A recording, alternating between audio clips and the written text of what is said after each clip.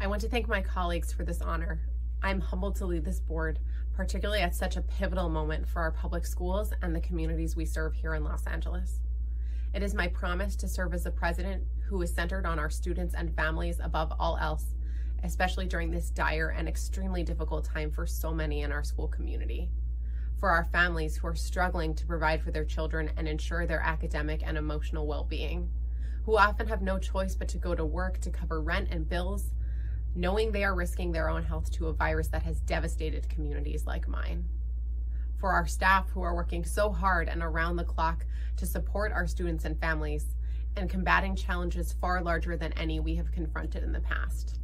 Who are teaching, tutoring, providing food, diapers, devices, and school supplies, cleaning our campuses, serving as a critical safety net for our greater community.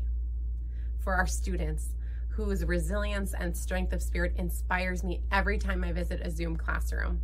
From our kindergartners eager to unmute to practice their letter sounds out loud with their teachers, to those high schoolers who are developing new digital rites of passage. Our fundamental charge as a public education system is to ensure that our students learn, grow, and thrive. We can only do this if we meet their holistic needs. The pandemic, the economic crisis, and the ongoing reckoning for racial justice has unveiled the deep inequities that govern opportunity in our community and our country. And never has the work of our district or this board been more important or more challenging. We must take upon ourselves the chance to remake our public education system with students at the center and driven by the cause of equity and social justice. This board must be relentlessly focused on student learning and work efficiently and urgently to meet the holistic needs of our children and families. While continuing the commendable supports we are already providing to our communities, we must build a roadmap to recovery that finally confronts the shameful systemic inequities and transforms our schools so that every child is loved, supported, and learning. I believe that despite being a diverse group of seven people, we can set out a clear, ambitious vision for our district with goals that drive our superintendent's strategic plan, our efforts to support and evaluate him, and support the work occurring in our schools, communities of schools, and local districts, now during COVID and beyond. Our board conversations should be aligned to those priorities, with meeting time devoted as much as possible to the biggest challenges confronting our schools and our students. With regular focus on our goals, chances to learn from the many stories of success within LA Unified, and honest reflections about the places where we must do better. As we as a board pursue this shared vision, equity and anti racism ought to be the through thread. The Black and Brown students that we serve cannot thrive in a system built to undermine their promise. As a board, we must lead with equity in mind and confront the racist vestiges in our public schools, from discipline practices to curricula to resource allocation to staff development, selection, and placement.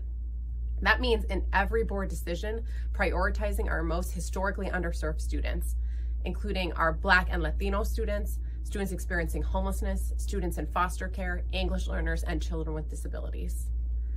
I identify with our students because my story is like many of theirs. I grew up the daughter of an immigrant mother from Peru. She is the inspiration for all of the work that I do. When I was young and we were struggling economically, my mom went back to school at the Pacoima Skills Center, and that forged a path for her and my family onto more stable ground. Watching my mom work on vocabulary flashcards every night at our kitchen table taught me that education is a lifelong endeavor and a gateway to opportunity. Her example put me on a path to be the first in my family to go to college. And my family's belief in my potential helped me to persevere even as I worked multiple jobs to pay my way through. So many LA Unified students will graduate this year, and they too will become the first, but not the last, of their families to enter the gates of higher education. My mom is now working in a hospital in the middle of this pandemic and continues to inspire me every day. I'm grateful to all of my family and especially my two sweet baby boys for supporting me and constantly inspiring me to do more and better for the hundreds of thousands of children who attend our schools every day. Because of my mom's sacrifice and love, I became the youngest woman ever elected to this board and now the youngest woman ever to lead it. My mom and I are an example of the life changing nature of the work that we do. That is even more true today in the midst of this crisis. I believe in this group of people and our ability to rise to the challenge that this moment presents us. I look forward to working with each member of this board to develop our shared vision and to drive towards supporting learning for each and every student. It will take all of us. Our students, families, staff, and communities deserve our everything. I know that with our discussion, disagreement, and focus, we can meet this moment for our students and our families.